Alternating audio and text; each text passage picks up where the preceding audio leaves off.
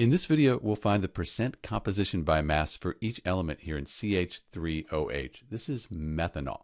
So we have a formula here that'll help us. And the first thing we need to do is find the molar mass for the compound, the CH3OH. When we do that, this is what we get. So the molar mass for methanol, that's the 32.05 and the units are grams per mole. So we know the molar mass of the compound. Now we can work with each element. So let's start with the carbon. Carbon on the periodic table, that has an atomic mass of 2.01 grams per mole. We only have one carbon, so when we multiply that by the number of the element, we're just multiplying by 1. So we'll leave it like this. Then we divide by the molar mass of the compound. That's what we just found. Multiply by 100 to get a percent. And note that grams per mole, it's on the top and the bottom. It cancels out. So we end up with 37.47 percent.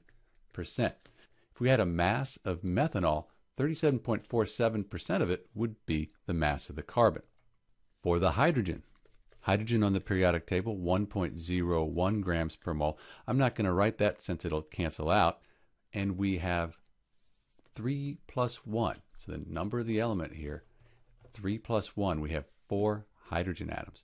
Then we divide it by the molar mass of the compound, multiply by 100 to get a percent, we end up with 12.61%. For the oxygen, we have one oxygen atom. Oxygen on the periodic table, 16.00 grams per mole.